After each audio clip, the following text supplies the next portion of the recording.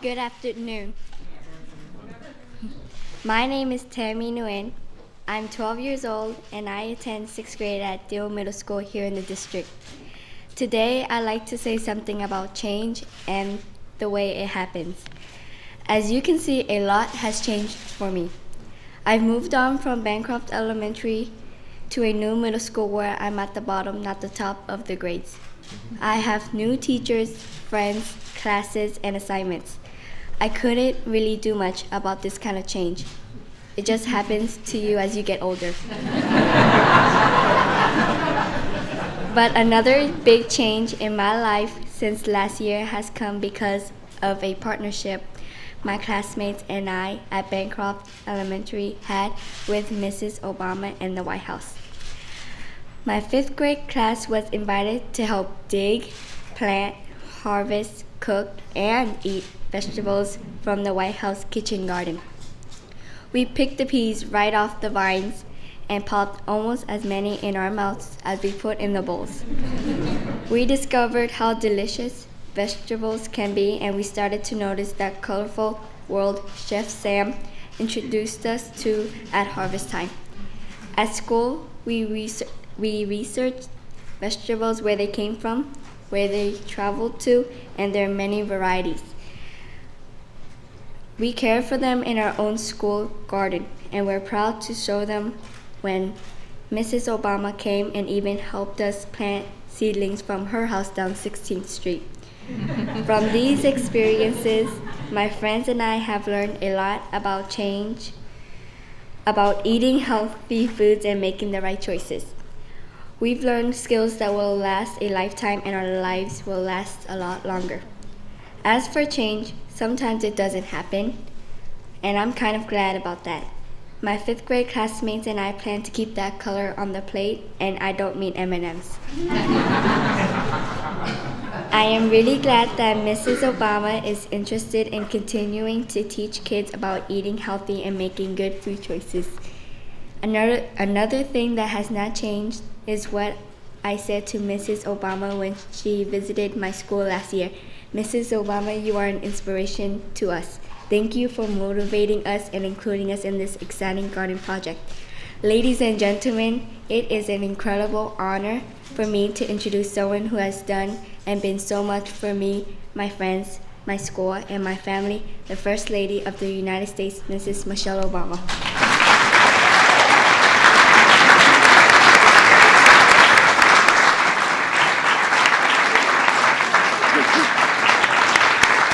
Wow.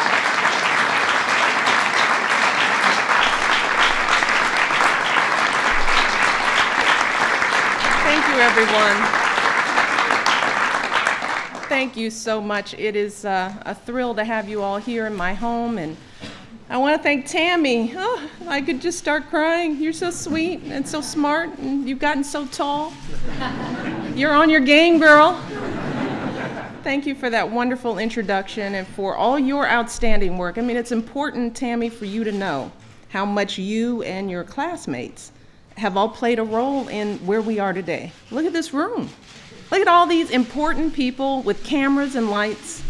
And it's because of what you helped me start at the White House Garden. So I'm so proud of you all.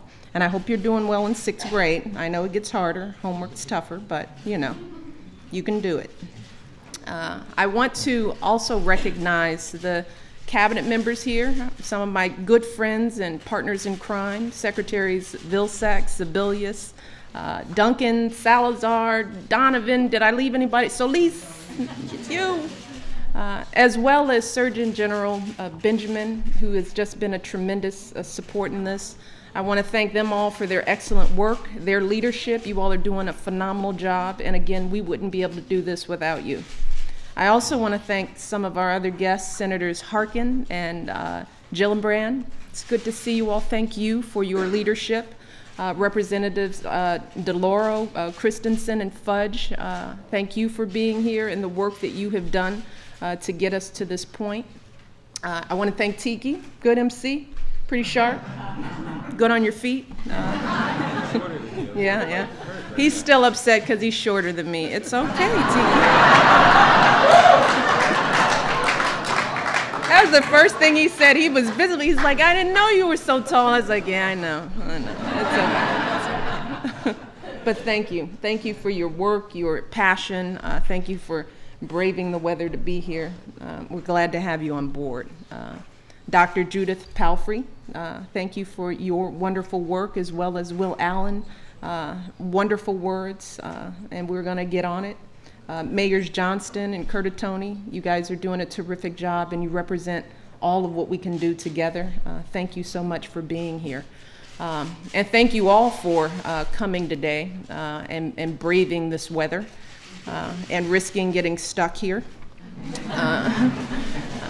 Thank you for the work that you do every day to help our kids lead active and healthy lives. And one final congratulations is in order. I hear that uh, the Watkins Hornets. Are some of the Hornets here? Yeah. All right, stand up because I know you're bored. they're,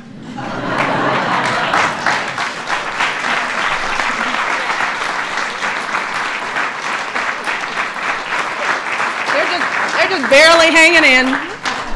But we want you here because this is really about all of you. We've got other kids, but these guys uh, are the national football champions, right?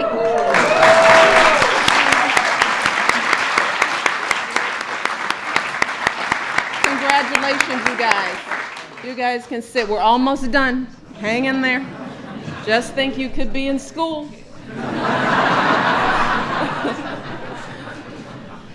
But we're, we're, we're all here today because we care deeply about the health and well being of not just these kids up here, but uh, for all kids like them all across the country.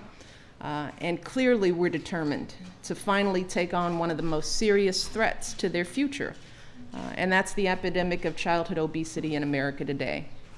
And obviously, it's an issue uh, of great concern to me, not just as a First Lady, but as a mother and as Tiki said often when we talk about this issue, we begin by citing sobering statistics like the ones we've heard today. Um, and we, we can't say it enough because we have to drill this in. Uh, that over the past three decades, childhood obesity rates in this country have tripled. Uh, that nearly one third of children in America are now overweight or obese. That's one in three of our children. But the truth is that these numbers don't paint the full picture and it's important to say this. Um, the words overweight and obese, they, those words don't tell the full story because this isn't about inches and pounds, and it's not about how our kids look. It has nothing to do with that. It's about how our kids feel, and it's about how they feel about themselves. It's about the impact that we're seeing that this issue is having on every aspect of their lives pediatricians like Dr. Palfrey all over this country are seeing kids with high blood pressure, high cholesterol, more and more kids with type 2 diabetes, and as we all know, that used to only be a disease of adults.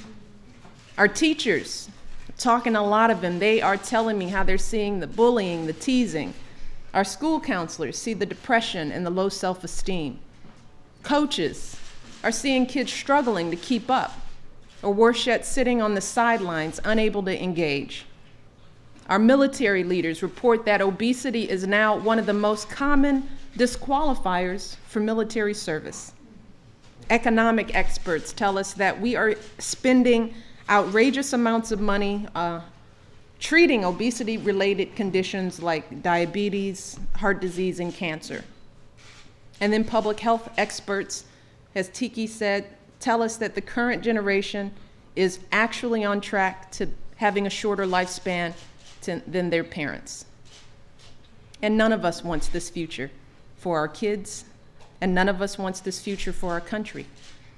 So instead of just talking about this problem and worrying and wringing our hands, it's time for us to get going and do something about this. We have to act. So let's move. Let's get this done. Let's move to get families and communities together to make healthy decisions for their kids. Let's move to bring together our governors and our mayors, doctors and nurses, businesses, community groups, educators, athletes, moms, dads, you name it, together to tackle the challenge once and for all. And that's why we're here today, to launch this wonderful new campaign called Let's Move. Let's hear it. Let's move.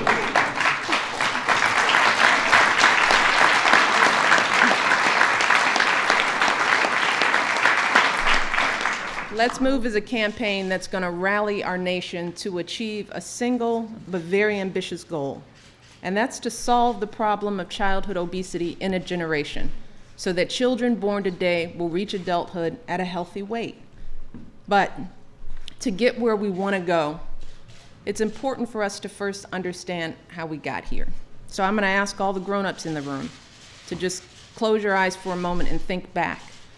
Think back to the time when we were all kids, as Tiki did. He's there, causing trouble.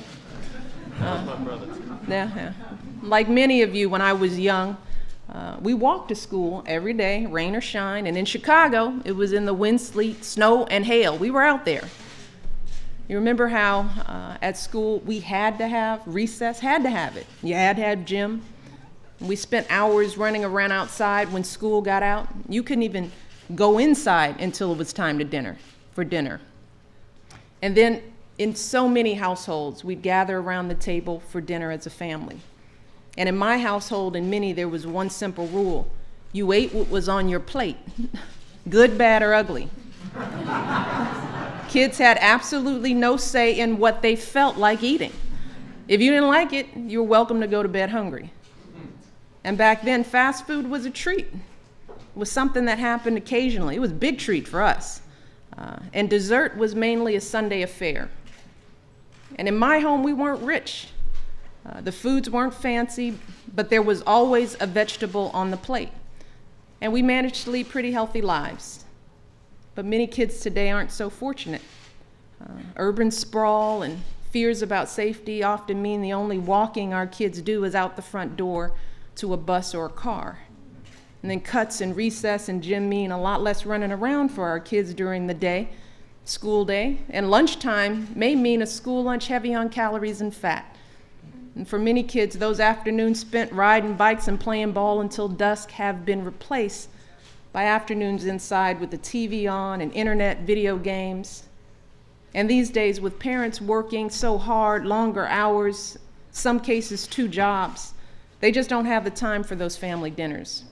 And with the price of fruits and vegetables rising 50% higher than overall food costs over the past two decades, a lot of times they don't have the money. Or they don't have a supermarket in their community. So their best option for dinner is something from the shelf of, of the local convenience store or gas station. So this is where we are. Many parents desperately want to do the right thing, but they feel like the deck is stacked against them. They know their kids' health is their responsibility, but they feel like it's completely out of their control. And they're bombarded by contradictory information at every turn. They don't know what to believe or who to believe. And this leads to a lot of guilt and anxiety, and a sense that no matter what they do, it's not going to be right and it's not going to be enough. And I know what that feels like because I've been there. Look, I live in a wonderful house, and today I am blessed with more help and support than I could have ever imagined. But I didn't always live in the White House. Uh, and it wasn't that long ago that I was a working mom. I've shared this story, struggling to balance meetings and deadlines and soccer and ballet. And there were plenty of nights when you got home so tired and hungry, and you just wanted to get through the drive through because it was quick and it was cheap. Or there were the times you threw in that less healthy microwave option because it was easy.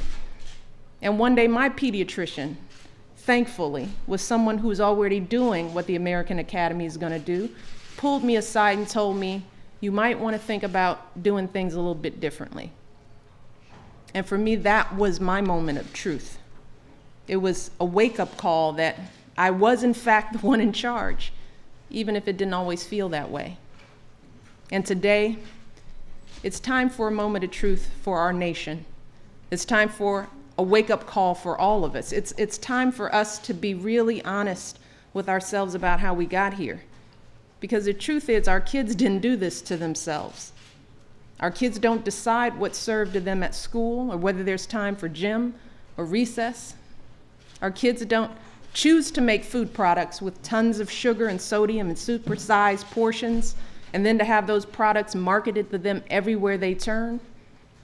And no matter how much they beg for pizza, fries, and candy, ultimately they are not and should not be the ones calling the shots at dinner time.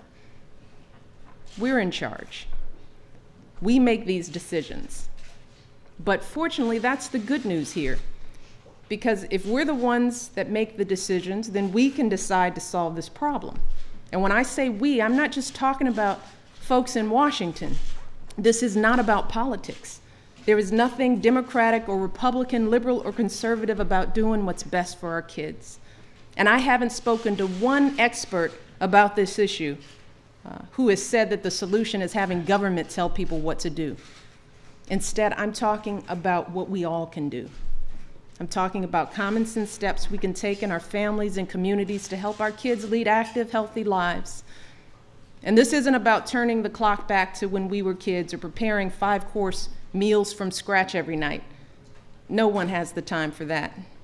And it is not about being 100% perfect 100% of the time because Lord knows I'm not. Uh, there is a place in this life for cookies and ice cream and burgers and fries. That is a part of the fun of childhood. Often it's just about balance. It's about really small changes that can add up, like walking to school when you can, replacing soda with water or skim milk, trimming portion sizes just a little. Things like this can mean the difference between being healthy and fit or not. And there's no one size fits all solution here. Instead, it's about families making manageable changes that fit with their schedules and their budgets and their needs and taste and their realities. And it's about communities working to support these efforts. Mayors like Mayors Johnston and Curtatone, who are building sidewalks and parks and community gardens. It's, it's about athletes like and role models like Tiki, who are building playgrounds to help kids stay active community leaders like Will Allen, who are bringing farmers markets to underserved areas, and companies like the food industry leaders who came together last fall and acknowledged their responsibility to be part of the solution. But there is so much more that we have to do. And that's really the mission of Let's Move to create this wave of efforts across the country that get us to our goal of solving childhood obesity in a generation. And we kicked off this initiative this morning in my husband's office when he signed a presidential mem- memorandum establishing the first ever government wide task force on childhood obesity. And the task force is going to be comprised of representatives from key agencies. Many of them are here today. And over the next 90 days, yes, more work for you, uh, these folks will review every program and policy relating to child nutrition and physical activity they're going to develop an action plan to marshal these resources to meet our goal. And to ensure we're continuously on track to meet those goals, the task force is going to set some real concrete benchmarks to measure our progress. But we can't wait 90 days to get going here, and we won't. So let's move right now, starting today, on a series of initiatives to help achieve our goal. First, Let's move to offer parents the tools and information they need and they've been asking for to make healthy choices for their kids. We've been working with the FDA and several manufacturers and retailers to make our food labels more customer friendly so people don't have to spend hours squinting at the words they can't pronounce to figure out whether the food they're buying is healthy or not. In fact, just today, the nation's largest beverage companies announced that they'll be taking steps to provide clear, visible information about calories on the front of their products, as well as on vending machines and soda fountains. And this is exactly the kind of vital information parents need to make good choices for their kids. We're also working with the American Academy of Pediatrics and supporting their groundbreaking efforts uh, to ensure that doctors not only regularly measure children's BMI, but actually write that prescription detailing real steps that parents can take to get their kids healthy and fit. In addition, we're going to be working with the Walt Disney Company, NBC Universal, and Viacom to launch a nationwide public awareness campaign educating parents and children about how to fight childhood obesity. And we're creating a one stop shopping website, letsmove.gov, good name, so, with the click of a mouse, parents can find helpful tips and step by step strategies, including healthy recipes, exercise plans, and charts that they can use to keep their family's progress on track. But let's remember that 31 million American children participate in the federal school meals program. And many of these kids consume as many as half of their calories daily uh, at school. And what we don't want is this situation where parents are taking all the right steps at home, and then their kids undo all that work when they go to school with salty, fatty foods in the school cafeteria. So let's move to get healthier food into our nation's schools. That's the second part of this initiative. We'll start by updating and strengthening the Child Nutrition Act, uh, the law that sets nutrition standards for what our kids eat at school. And we proposed a historic investment of an additional $10 billion over 10 years to fund that legislation. And with this new investment, we're going to knock down barriers that keep many families from even participating in school meal programs. In that way, we'll add an additional 1 million students in the first five years alone.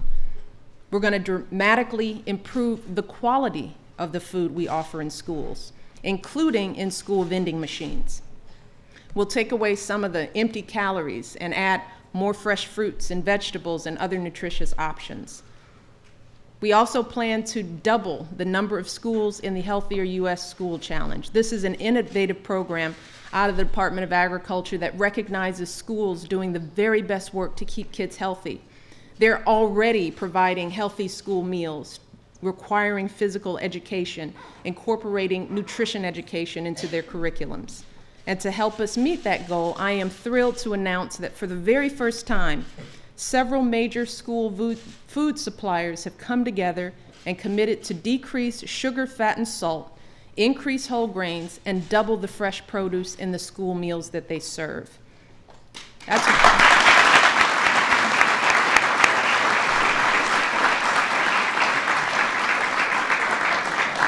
And also, for the first time, food service workers, along with principals, superintendents, school board members all across this country, are all coming together to support these efforts.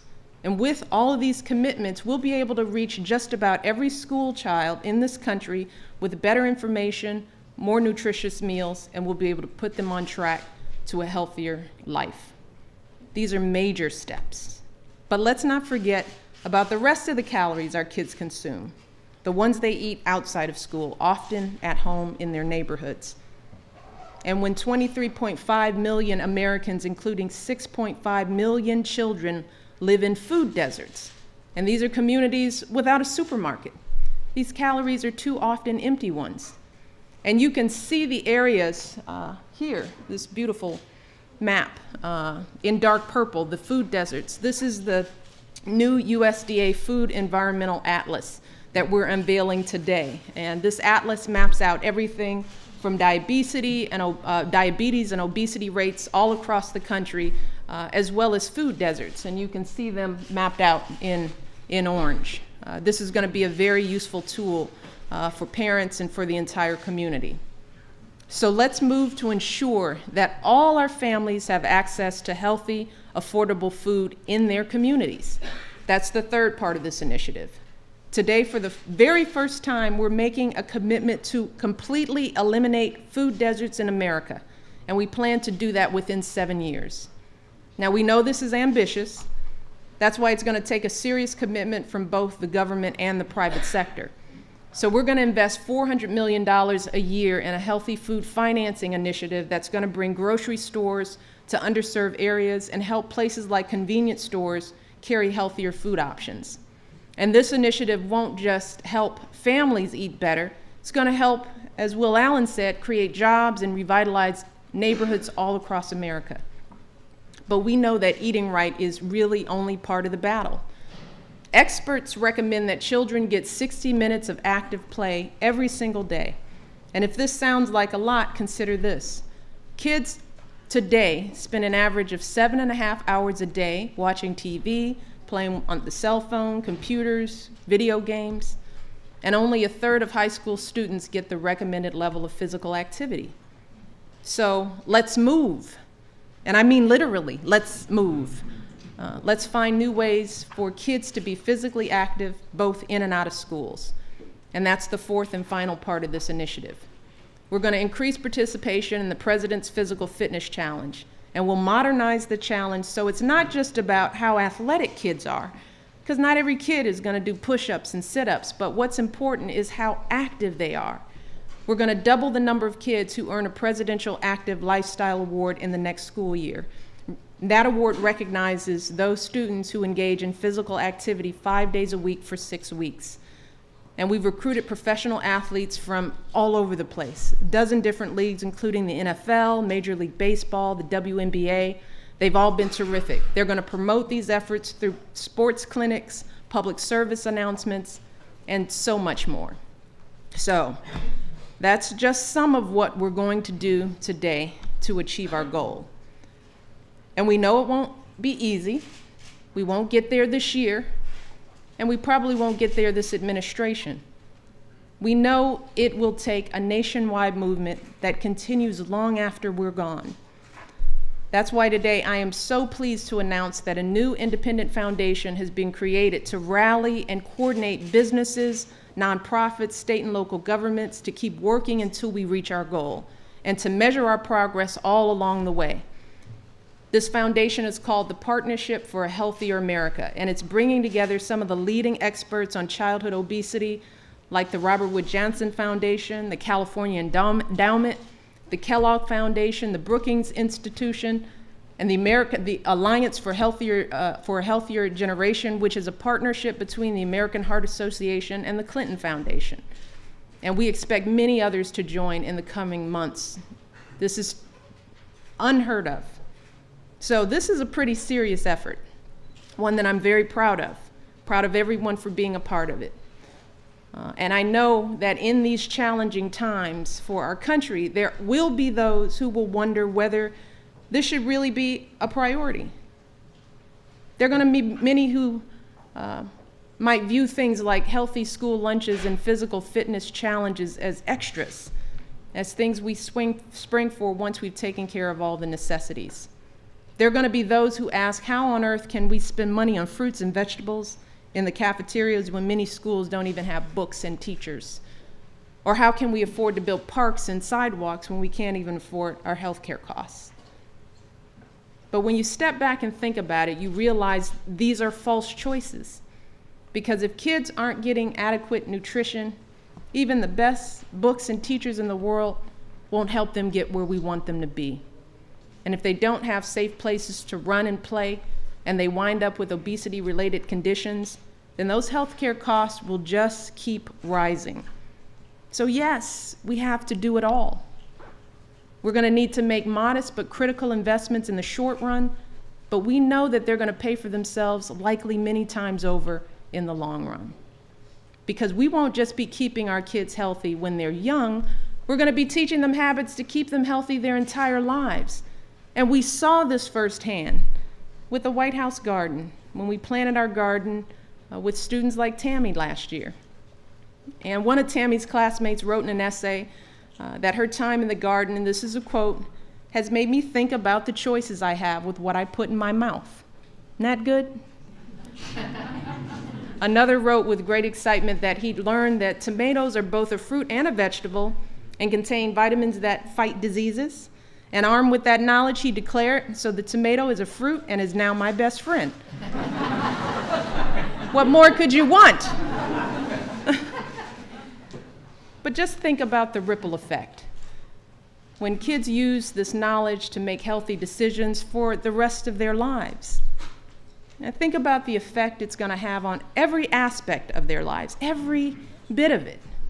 Whether they can keep up with their classmates on the playground and stay focused in the classroom, whether they have the self confidence to pursue the careers of their dreams and then the stamina to succeed in those careers whether they'll have the energy and the strength to teach their own kids how to throw a ball and ride a bike, and whether they'll live long enough to see their grandkids grow up, maybe even their great grandkids too.